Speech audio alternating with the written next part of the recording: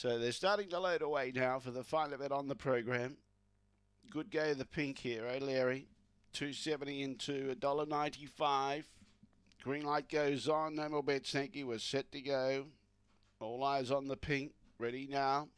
Away, Springetto was outpaced by Spring Lisa. O'Leary really starts to muster and takes over down the back and took over and really enjoyed the pink box and still racing wide but clear by two lengths. Springetto in second placing. Spring Lisa behind those was Viper's Mission. Then we had Trouble Waters and Blackpool Ivy, but the money's spot on with O'Leary. Often gone for the favourite punters and the late mail followers, and O'Leary wins by four lengths on the line. Second, Spring Lisa. Third, Springetto. Fourth looked to be Viper's Mission, I think just in front of Trouble Waters and Blackpool Ivy at the tail end of the field.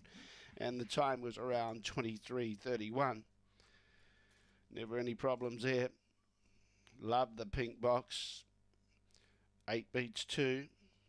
Third